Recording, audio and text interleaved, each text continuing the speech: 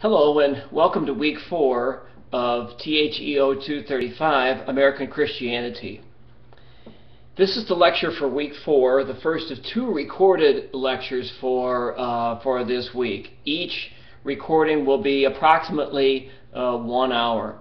Um, in week four, I'm going to be discussing the American Christianity from the time of Reconstruction, immediately after the Civil War, until World War I. So we're going to cover the period from 1865, 1866, until roughly 1918. During this first lecture, I'm going to uh, address the following uh, topics, just so you can uh, take note of that. I'm going to be addressing the issue of Reconstruction, and then we're going to specify that even more by talking about um, the rise of the black churches during Reconstruction and afterwards, the status of the white churches after the Civil War, the rise of cities in America, the golden age of liberal theology, and then the social gospel. I think that is going to take roughly uh, uh, an hour. If it takes a little bit longer than an hour, then the second video will be uh, shorter than an hour. You may be seeing uh, contrasts in, in, the light. We have a skylight in the in the room where I'm making this recording, and since Hurricane Isaac is coming through, uh, the, the, the the the sun is out, and then the sun is uh, back under the clouds. So um, I hope you can see and even more so, I hope you can hear, because you don't need to see me. In fact, you probably don't want to see me in order to hear this lecture. So, let's begin. The period of Reconstruction. The period Reconstruction is considered that period of time after the Civil War from 1865 until more or less 1877 with the uh, election of President Rutherford B. Hayes.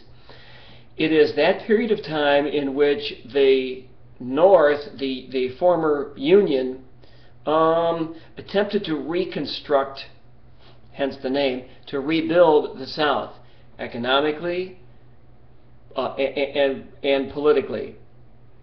It also refers to uh, that period of time uh, in which there was an attempt made to make the, uh, the, the the end of slavery uh, permanent. As we'll see, or as you know already, that did not happen. Um, one form of slavery, legal slavery, was replaced as a result of Reconstruction by uh, a new system, the, Ju the Jim Crow system of uh, economic uh, and social slavery. So, with that, let me begin. The North and South, even after the Civil War, remained deeply divided, as you probably could imagine. It was the desire of the South to return to its old system as much as possible. It was an agrarian system rather than an urban system. It was a system uh, predicated on legal slavery. Well, that was not going to continue. At the same time, the northern radicals, the Reconstruction radicals, wanted as much as possible to destroy the system of the Old South, to do away with it completely, not just slavery, but the old Southern uh, way of life. In the early years after the war, the momentum for uh, equality between blacks and whites led to the passage of three amendments to the Constitution the 13th Amendment is the amendment that formally abolished uh, slavery in America. The 14th Amendment uh, forbade the denial of rights to anyone on the basis of their race, on the basis of their color. Uh, and the 15th Amendment guaranteed the right of all citizens um, to vote. Of course, that means that meant then all male citizens, because women still did not have the right to vote. Women would not obtain or secure the right to vote until 1920.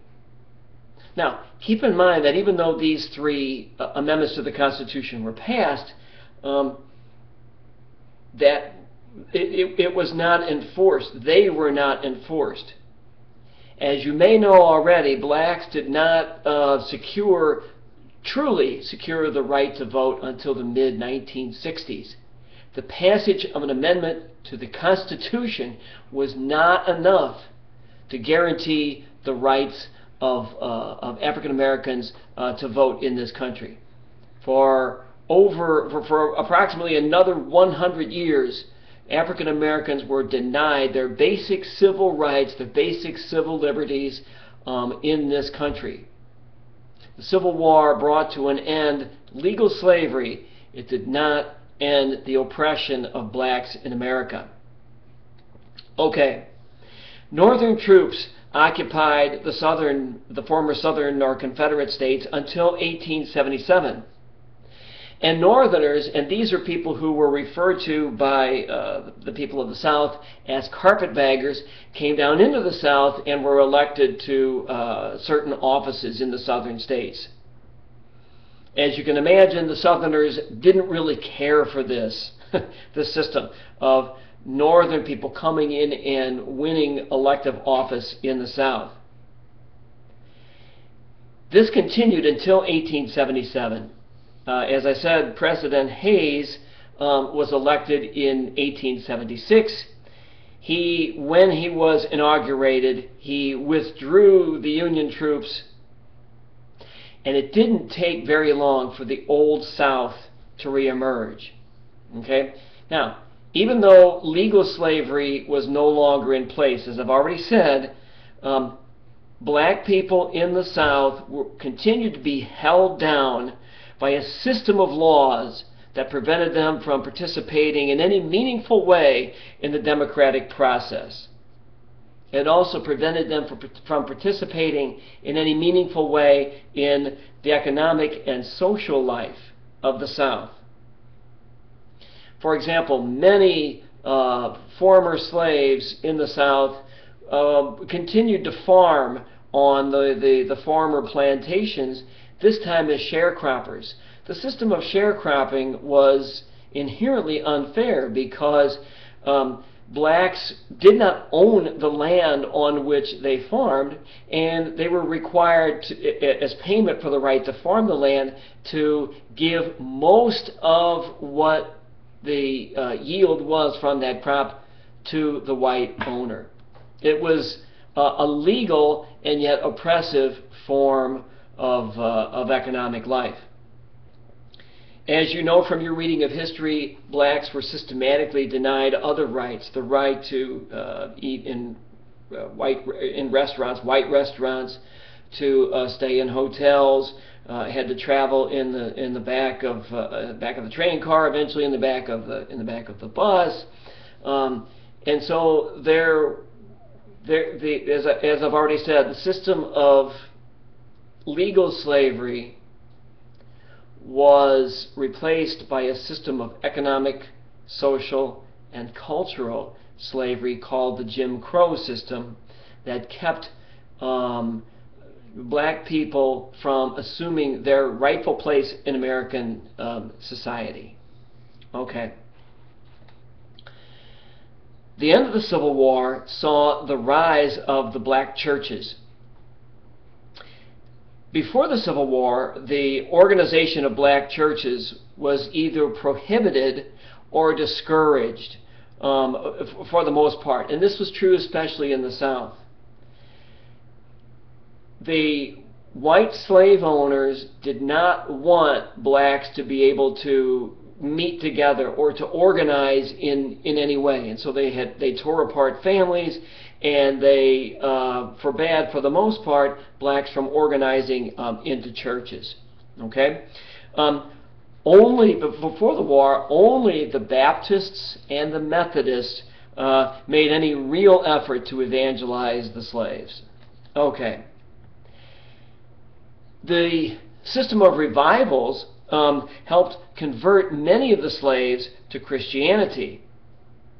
Sydney Ahlstrom notes that, and this is a quote, revivalistic Protestant Christianity became the chief means by which the African slave, whose native culture, language, and religion were taken away, defined and explained their personal and social existence in America. Evidence for this is found in the lyrics of the Negro spirituals, which framed the black experience in biblical terms of liberation and putting up with suffering.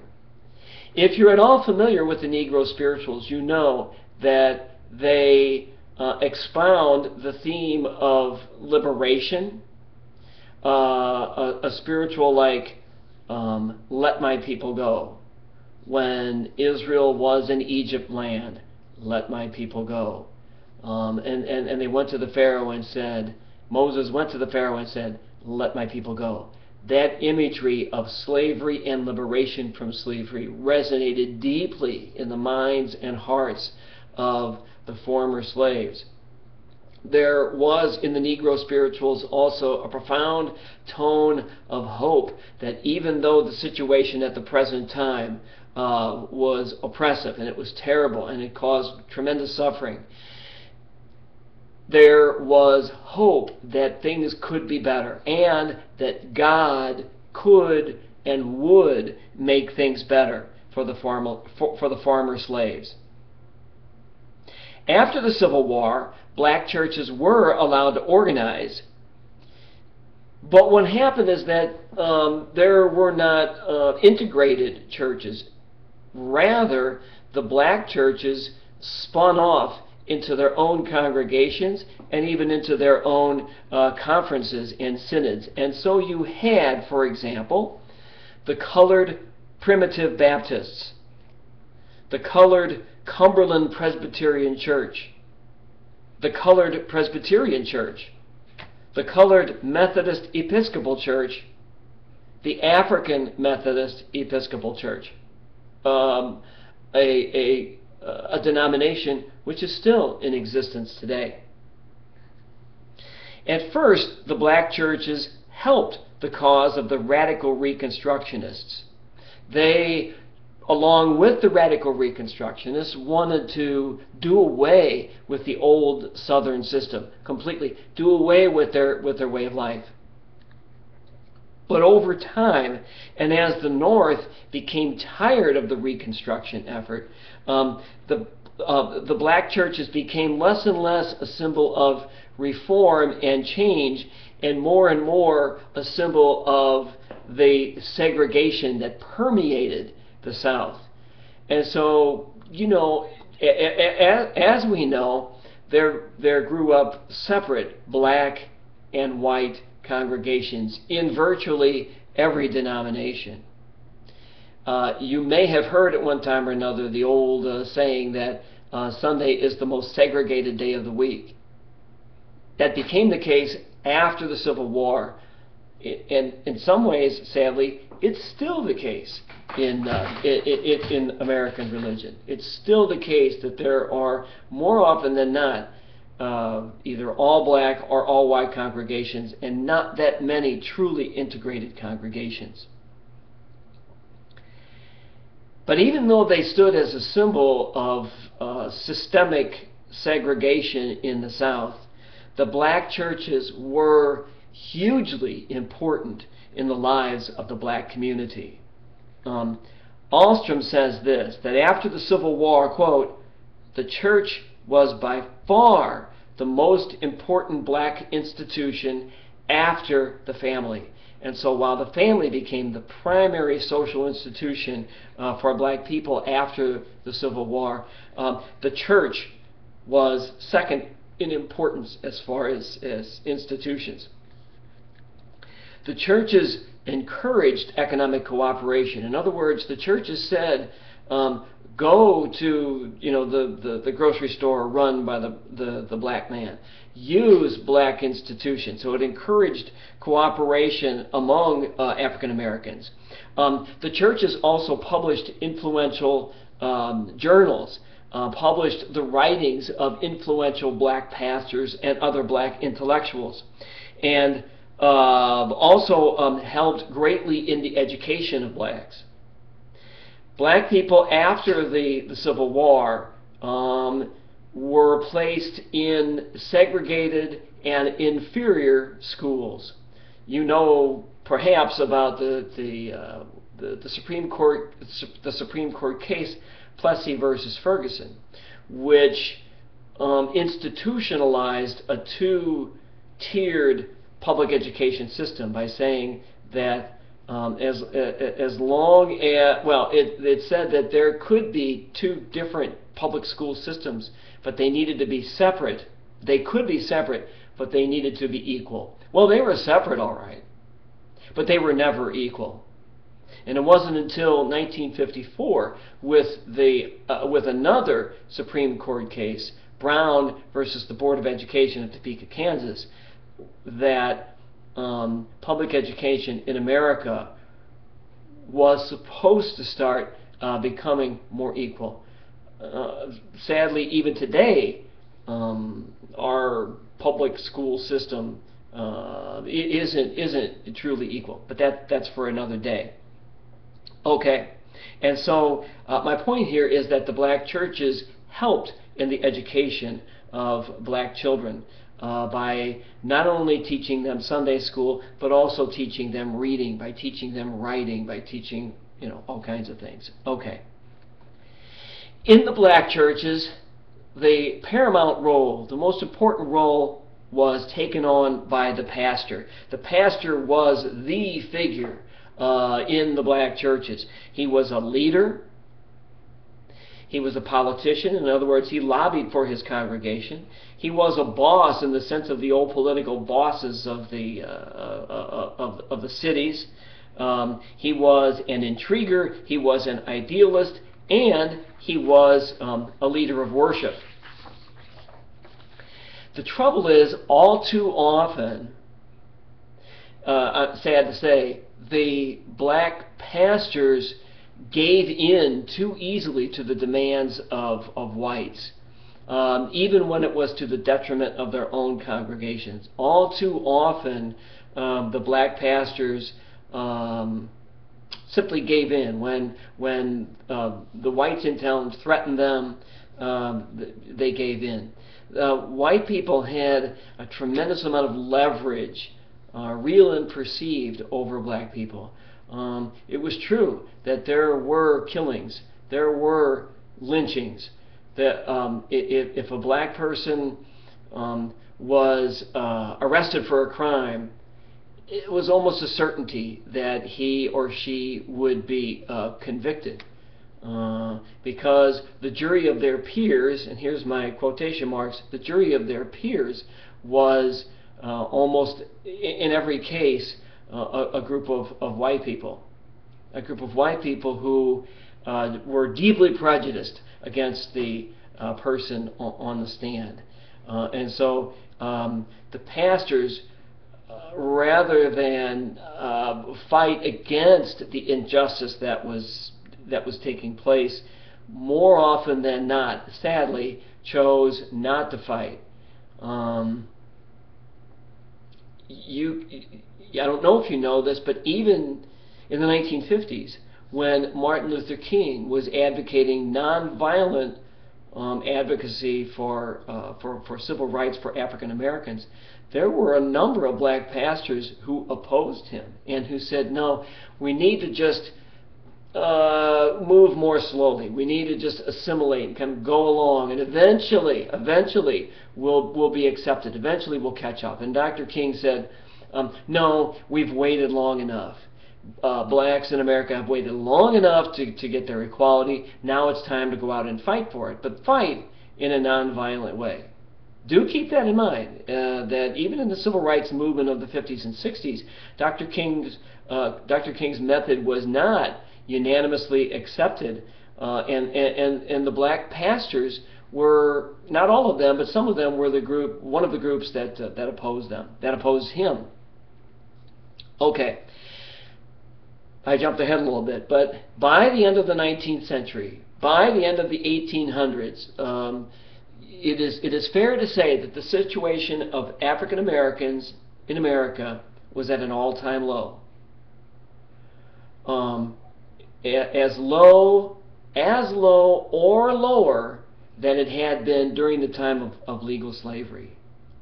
Because um, blacks had to now, you know, try to make it on their own in a system, in a culture that systematically, systematically denied them their rights. Even though they, their rights were secured by law, they were not secured uh, in reality. Okay, so now what about the white churches after the Civil War? Well, uh, as you can imagine, in most cases, the white churches were used um, as an instrument to enforce segregation and uh, to reinforce white dominance. Okay, um, e even though these these congregations were Christian, nominally Christian, there was still a tremendous amount of uh, race prejudice, and the churches were used to reinforce uh, the Jim Crow system. At this time, the three most popular denominations were the Methodist, the Baptist, and the Presbyterian. And even though they had harbored black members during the war, once the war ended, they encouraged their black members to go out and form their own congregations. I guess that's not too surprising, but that's what happened. The Catholic Church now, I've been speaking about the Protestant churches, but the Catholic churches in the North and, and the South reunited after the Civil War. During the Civil War, they had re, uh, remained separated from each other. And there were Catholics who were um, in support of the Union, and there were Catholics who were in support of the Confederacy.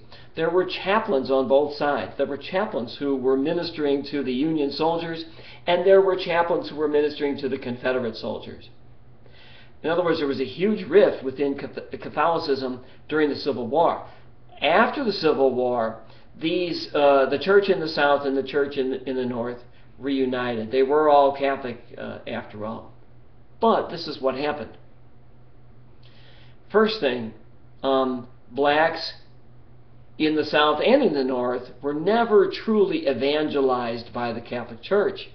Um, to this day, there are not many uh, African American uh, uh, Catholics in, in, the United States. Um, second, the uh, blacks who were um, evangelized, who were converted to Catholicism, either had to do one of two things. They either had to form their own church, their own congregations, just like the Protestant uh, denominations did, or the Protestant congregations, or they had to sit either in the choir loft or in the back of the Catholic Church. So there was pretty much the same kind of systemic, systematic um, uh, prejudice against black Catholics as there was against uh, black Protestants. Being a black person in America was not a good thing during the second half of the uh, 19th century. Okay. Now, the next thing I want to talk about, um, the, the growth of cities, the explosion, really, of cities in America after the Civil War. Just to give you one example, and I could give you half a dozen more, but this will make my point. To give you one example, in 1833, the city of Chicago was incorporated as a city. 1833.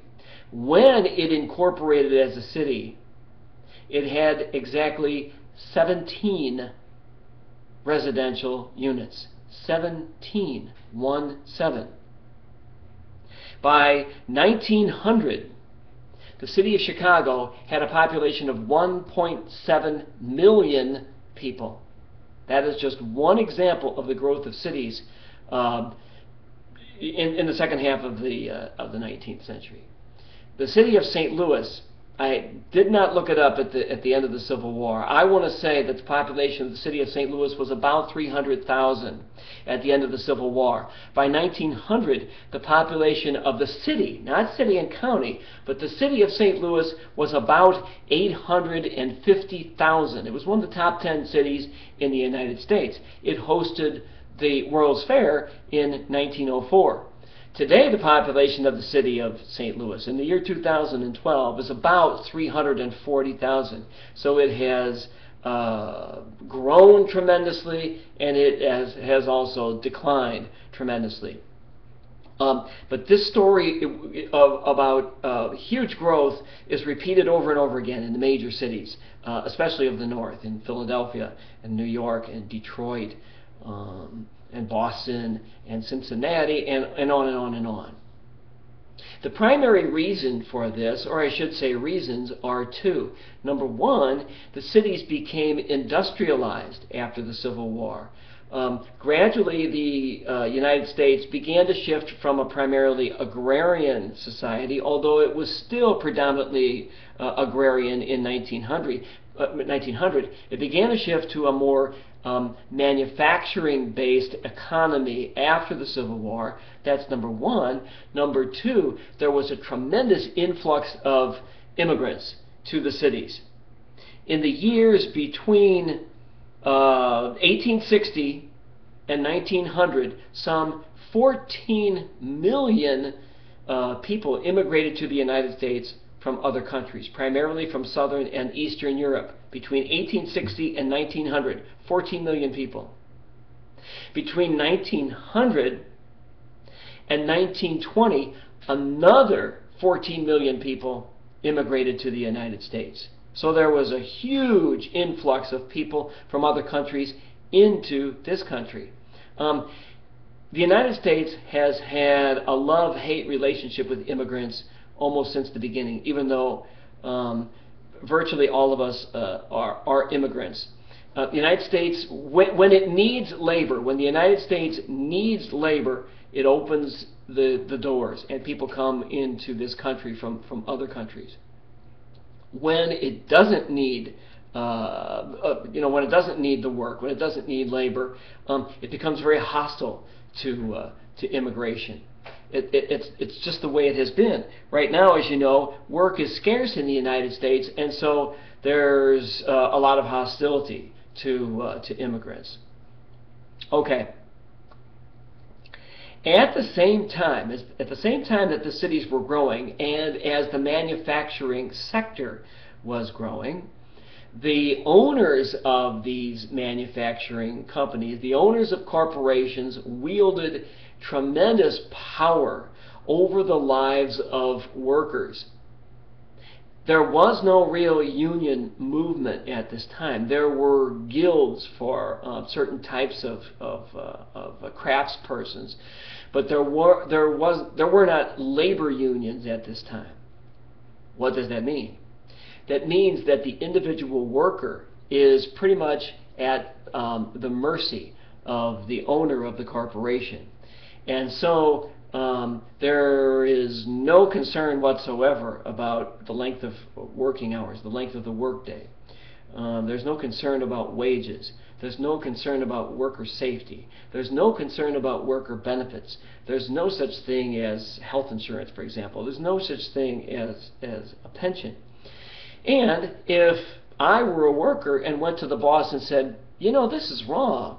Um, you know, children are working in here who are, you know, 10 years old and they're working 12 hours a day and, and their wage isn't fair. And uh, they're being hurt and maimed and, and, and dying in these factories. Uh, the owner of the factory simply would have said, "We'll get out. We'll, I'll find somebody else. In fact, I'll find, I'll find 500 other people who are willing to do what you're doing. So get out of my sight."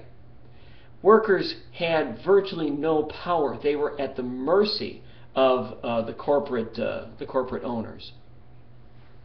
Okay. Um, as the cities began to, to, to, burgeon in growth, as they grew up very uh, so quickly after the Civil War, um, remember that the greatest number of these uh, new immigrants were Catholic. And so uh, the cities, the major cities of the United States, became more Catholic and as a result, the Protestant churches began to move outside the core cities, and as a consequence, these new Americans, these um, new uh, immigrants, um, lost contact, or really never had any contact, contact with uh, Protestantism. and there's my phone, which I'm not going to answer. Still in all, there were Protestant um, initiatives after uh, the Civil War.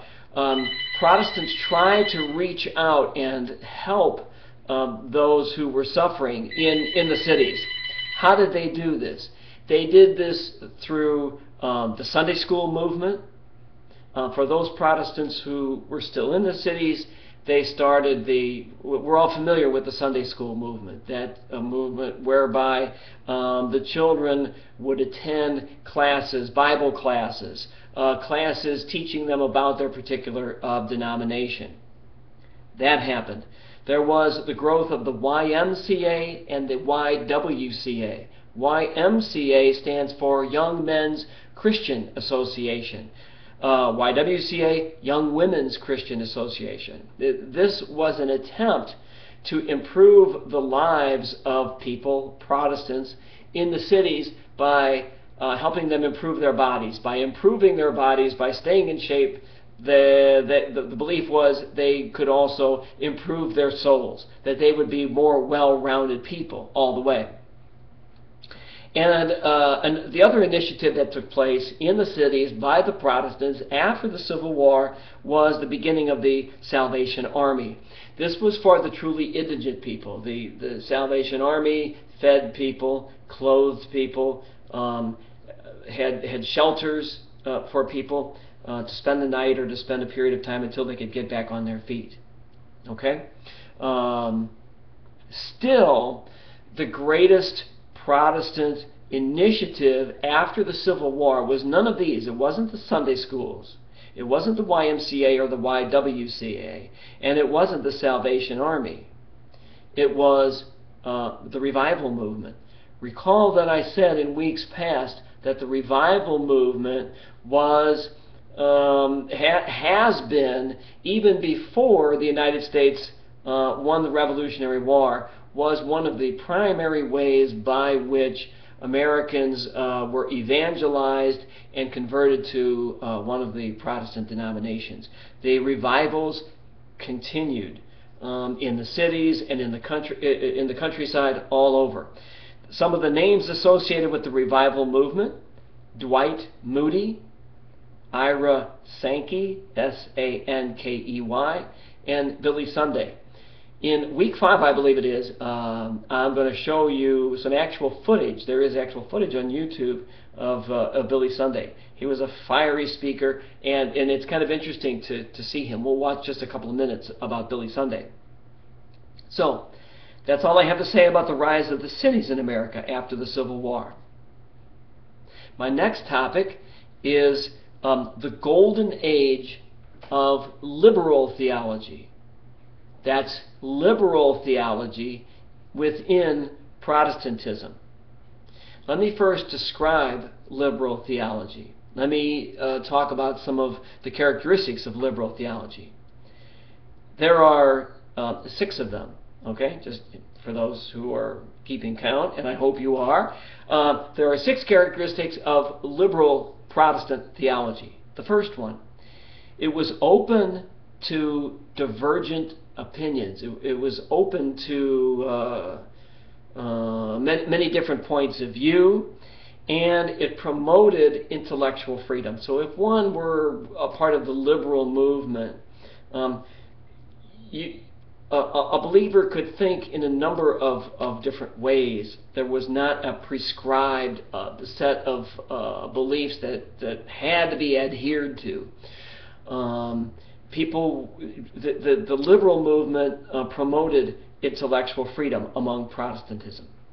Okay, I'm going to I'm going to show you how in just a few minutes. That's the first characteristic. Second characteristic is that it, it took a highly rational rather than an emotional approach to religion. Uh, in other words, it became a religion of the mind rather than a religion of the heart. Evangelical Protestantism had always focused more on the heart, that one should believe, should be secure in one's own heart and, and, and soul that, that he or she is saved. And um, evangelical Protestantism always fostered more emotional manifestations or expressions of religion. The liberal movement um, believed more in a, a thoughtful, uh, calmer, cooler form of, of Protestantism, one that focused on right thinking rather than right feeling. That's the second characteristic.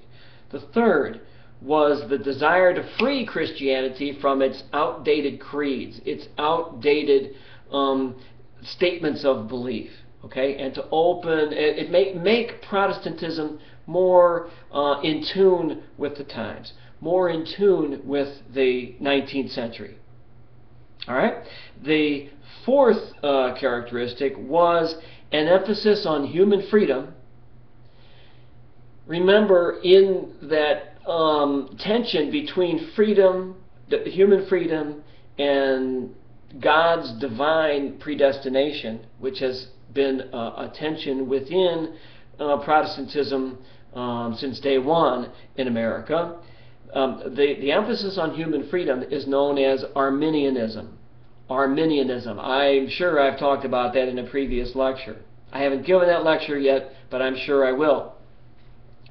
So, liberal Protestantism uh, gave greater emphasis to human freedom as well as human nature's natural capacity for altruism. In other words, the, the liberal movement believed in the innate goodness of the human person rather than the innate depravity of the human uh, person.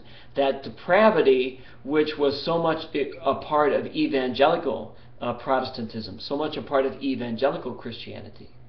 Remember that evangelical Christianity was uh, the, the, the, successor to people like John Calvin, uh, St. Augustine, and even St. Paul. And so it placed greater emphasis on human depravity, uh, stating that human beings are sinful from birth, sinful by nature. And now the liberal Protestant movement is saying, no, no, let's not look at the third chapter of Genesis in which Adam and Eve sin. Let's instead look at chapter 1 of Genesis in which uh, God says, when He finishes creating, God says, everything that I have made is good. And after the creation of the man and woman, he even says, everything that I have made is very good. The liberal movement fo- focused more on the innate goodness of human nature, on the innate um, capacity for human beings to do good to each other, to be good to each other, rather than human nature's innate depravity and sinfulness. Okay? All right. Um, that's number four. Number five, there was a, a strong emphasis on um, moral preaching and action. The liberal Protestant uh, preachers um, stressed uh, the, the, moral uh, imperative of Christians to go out into the world and do good. That it's not enough just to be content with one's within one's own mind and heart that I am saved and that therefore everything is okay. The liberal Protestant movement told its believers that if they really believe, they have to go out into the world and show it.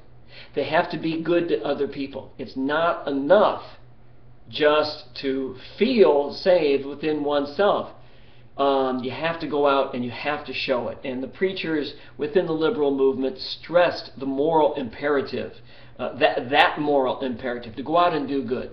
We will see in just a few minutes that the social gospel movement would stress this um, even more. It would take liberal Protestantism uh, even further. Okay, and number six. Within the liberal movement, there was minimal attention paid to ritual and sacraments. Okay? Um, there really was, well, there, there was a certain amount of uh, attention to ritual within the uh, evangelical movement.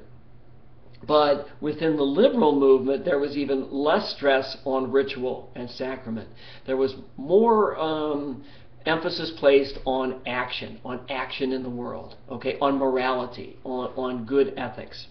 All right, so those are the six openness to divergent opinions, and a desire for uh, intellectual freedom. a highly rational rather than emotional approach to religion. That's number two.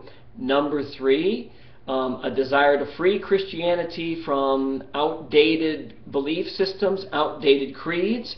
Four, an emphasis on human freedom, Arminianism, uh, over um, over a divine predestination, and accompanied by a belief in humanity's natural capacity for goodness. That's four. Number five, a strong emphasis on moral preaching and moral action. And number six, very little attention paid to ritual and sacraments. Okay. Now, liberal uh, Protestantism, liberal Protestant theology, challenged traditional Protestant thinking in a number of important areas. As a matter of fact, in three different areas. First of all, in its approach to creation and evolution. I'm sure you're aware that the traditional Protestant approach to creation was to accept uh, word for word the story of creation as it was told in the book of Genesis. The liberal Protestants said, no, that's not necessarily uh, the case.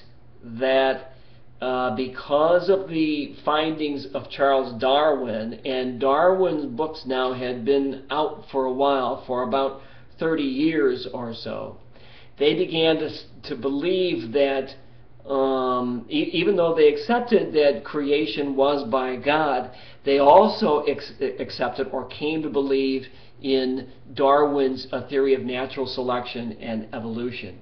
And so um, they embraced Darwin and rejected the Genesis stories of creation. And that doesn't mean that they were atheists. It just means that they um, accepted evolution rather than what's now referred to as creationism. Okay, so that was their first uh, challenge to um, traditional Protestantism. The second, their second challenge to traditional Protestantism was in the interpretation of Scripture. Traditional Protestantism, traditional evangelical Protestantism, had always accepted the literal inerrancy of the Bible. In other words, that every word contained in the Bible is literally true. That it is literally the Word of God, and so therefore every word and every syllable is literally, factually true. Now, ever since the late 18th century, ever since the late 1700s, beginning in Germany, there had uh, flourished uh, a, new way of looking at the scriptures and of interpreting the scriptures. And uh, it, it, came to be known as the historical critical, historico critical, or historical critical um, interpretation of the scriptures. What these people did was to was two things. They looked at the scriptures in light of the historical context of the times. And so they examined the scriptural stories and then looked at other evidence, historical, archaeological, anthropological evidence, to see if the biblical stories squared with uh, the, the findings of archaeology and anthropology. And so, for example, they came to uh, challenge the uh, the story of Genesis as being literally true because there there is no um, Garden of Eden. I mean, people have speculated about where there could have been a Garden of Eden, uh, but there but there was no Garden of Eden. Um, there there was no uh, Noah's Ark. Um, when they looked in Egypt for evidence that uh, uh, of the plagues, uh, for evidence of uh, you know a, a massive uh, out migration of people away from Egypt, they couldn't find any, and so they began to um, say that perhaps the biblical stories were not historical or factual as much as they focused on the religious meaning of the stories. The second thing that they did, uh, the first one was to look at the, the scriptural stories in their historical context. The second thing that they did was to examine the Bible as a work of literature like any other work of literature, like the Aeneid or like uh, the works of, of Homer, the Iliad and the Odyssey. Okay? And, and, take it apart. Look at the vocabulary. Look at the syntax. Look at the grammatical structure. Look at uh, you know all, all kinds of things. And they began to uh, notice, for example, that books like Genesis or Exodus were could not have been the work of Moses because they found um, distinct uh, literary uh, styles, different vocabularies, different way of forming sentences, um, different names for God, different names for mountains. Um, Mount Sinai was called in, in, some moments, in some of the stories, Mount Sinai, and in other stories, Mount Horeb. They're exactly the same mountain.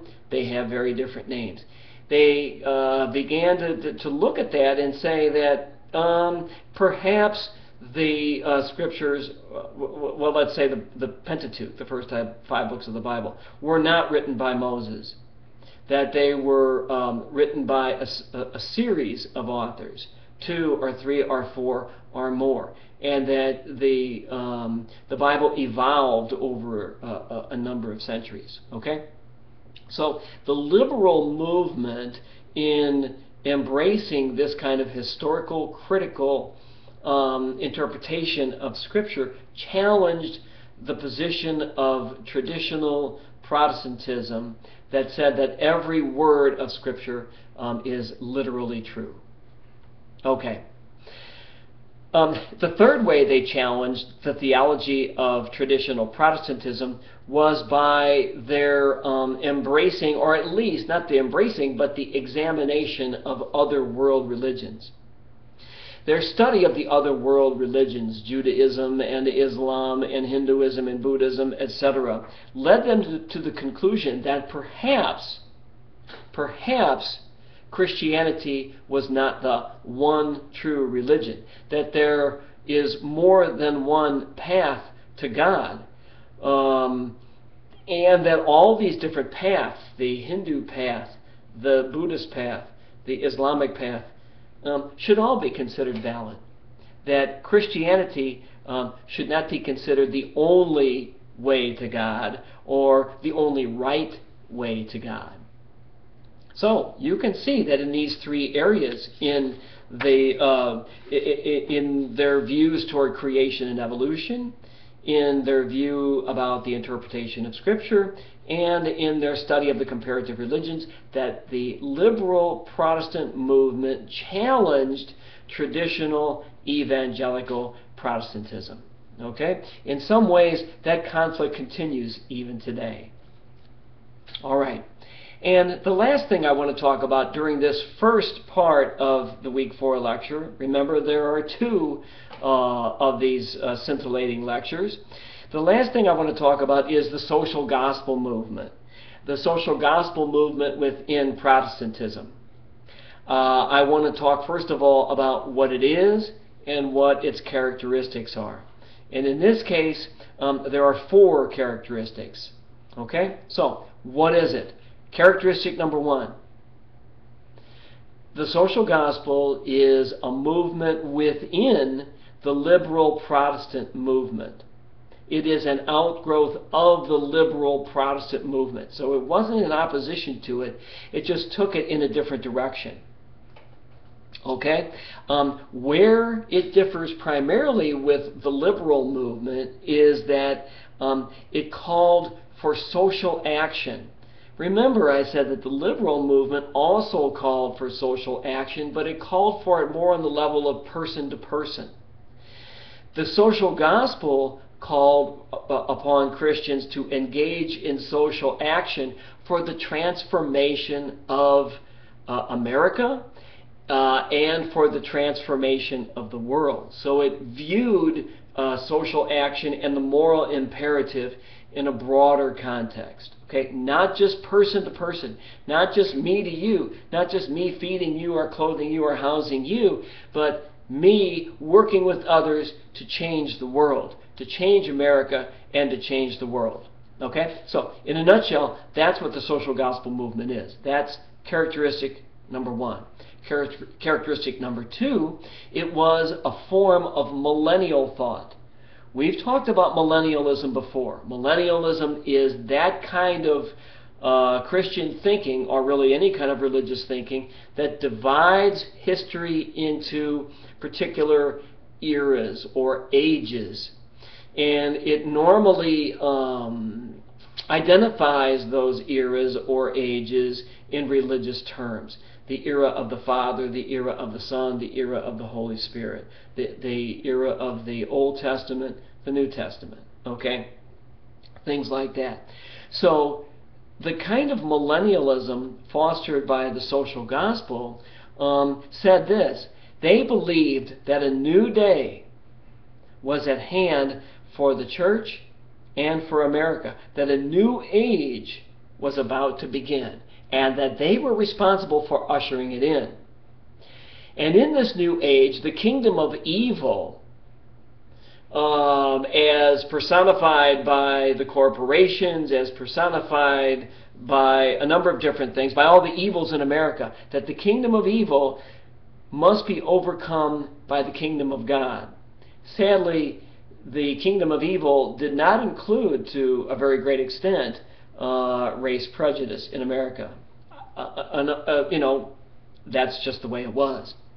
Um, so it believed that the social gospel people were in the midst of ushering in a new, a new age in American life a new age that would do away with the kingdom of evil and would usher in the kingdom of God.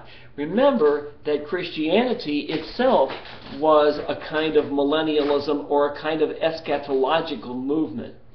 Jesus believed that a new age was coming, that a new day was coming. The primary theme of his preaching was the reign of God is at hand. The kingdom of God is at hand. And when he said that, he meant that the age of the Romans, the age of oppression, the kingdom of evil was about to come to an end, and that a new age, the reign of God, was already being ushered in by his own presence, by Jesus' own presence. That uh, reign of God would be characterized by four things by open healing, by shared meals, by wandering, not settling down anywhere, and by fundamental equality. So that's another example of uh, a millennialist and eschatological uh, movement.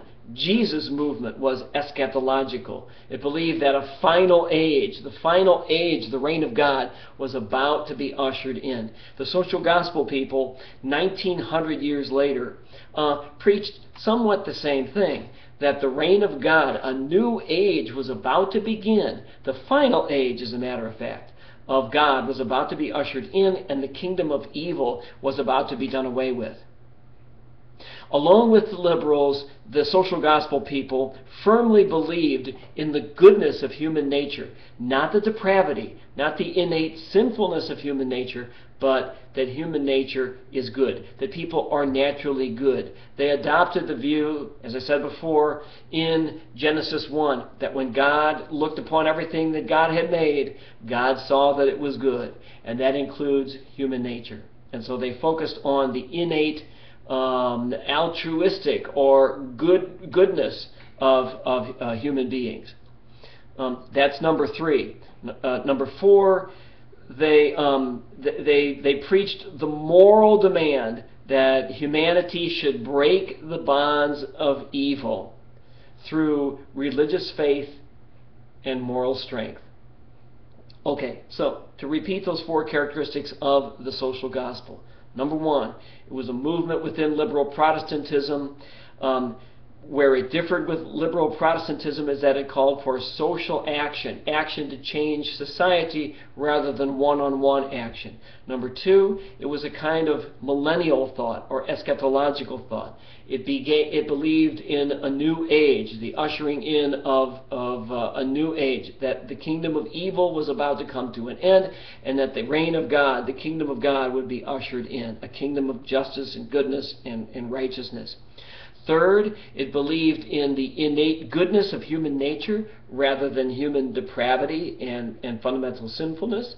And four, it, it preached the moral demand that humanity needed to break the bonds of evil in the world through religious faith and through moral strength. Okay, the social gospel grew up in reaction to the way that the American economic system was evolving.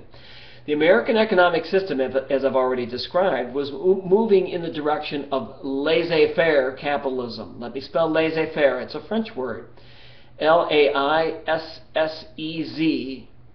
hyphen F-A-I-R-E. That simply means let it happen. Just let things happen as they as they will. Uh, in other in other words, a true a true free enterprise um, system in which government has little or no interference. Okay, that was the case in the second half of the 19th century. The uh, the super rich, what we would call today the one percent, really controlled the economy of, uh, of the United States. If you've ever visited places like um, Newport, Rhode Island, uh, my wife and I have, and you will see there, if you ever go there, you will see uh, the summer homes, and I use that, here, here come my air quotes again, uh, the summer homes of the super wealthy, the Vanderbilts and the Hills, the uh, robber barons, the people who own the steel mills and the railroads of the country. Um, their summer homes um, one of them that we went through was 136,000 square feet. 136,000 square feet.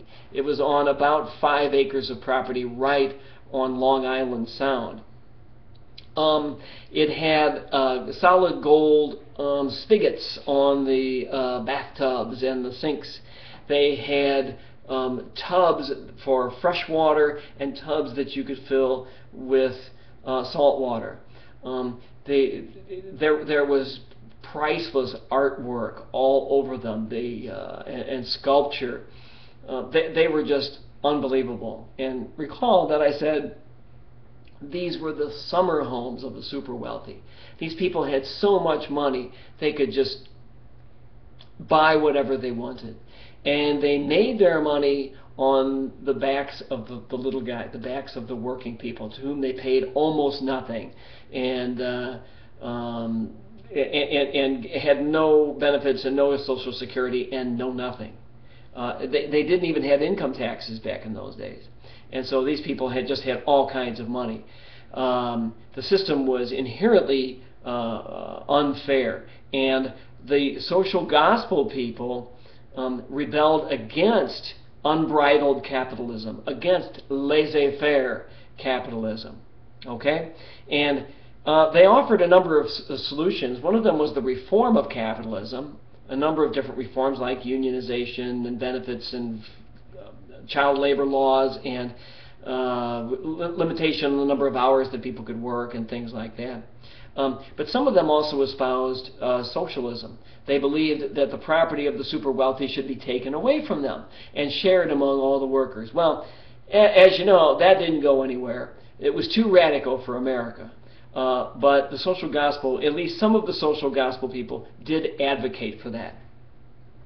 Okay. Um, keep in mind also that uh, the, the social gospel is an outgrowth of Puritanism you know you know by now that Puritanism is not just a strain of religious thought in America. It is, I think, the predominant strain of religious thought in not only Protestant America, but in America uh, as a whole. One of the tenets of Puritanism was that believers should reform and remake society, rebuild society.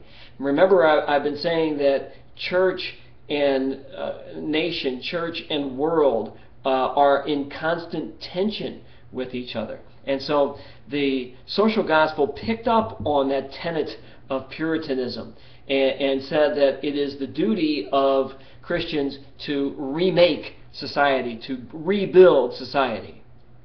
Okay.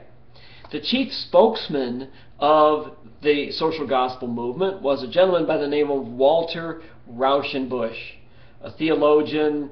Um, I'm not going to say much about him, but you, you, can look him up, or maybe I'll say some more about him when I come back uh, uh, next week. But Walter Rauschenbusch, yes, I'll spell that R A U S C H E N B U S C H. Walter Rauschenbusch. Okay. The social gospel was primarily concerned with the plight of the people in the cities. They, their concern was for the, the people in the urban cities, the working man, the, the guy stuck in that manufacturing job.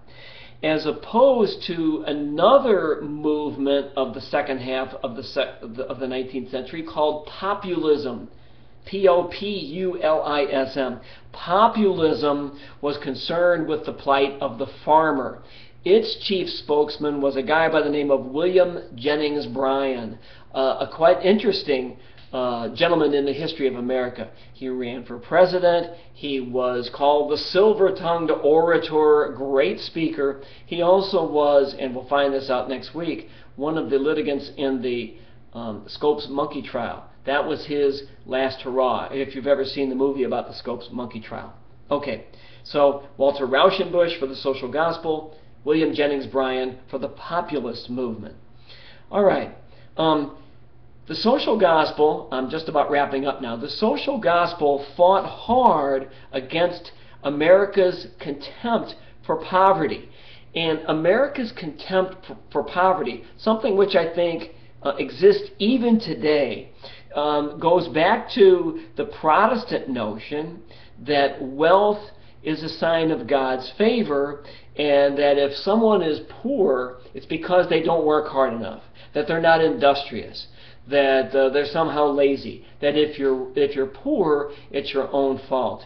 The social gospel tried to fight against that mentality that if you are poor, it's your own fault, uh, and that wealth is a sign of God's favor. They didn't get very far, but they at least tried to change that mindset. Okay, uh, last thing. The, some other leaders of the social gospel movement, besides Rauschenbusch, Washington Gladden, Joseph Cook, Edward Bellamy, Henry George. Okay, Henry George, by the way, was uh, one of the uh, principal socialists among the group. All right, so that's the end of part one of the lecture. Um, if you go back to YouTube or the link on um, the, uh, uh, the, the Blackboard, you uh, whenever you're ready, you can start to view uh, the, the second half of the lecture.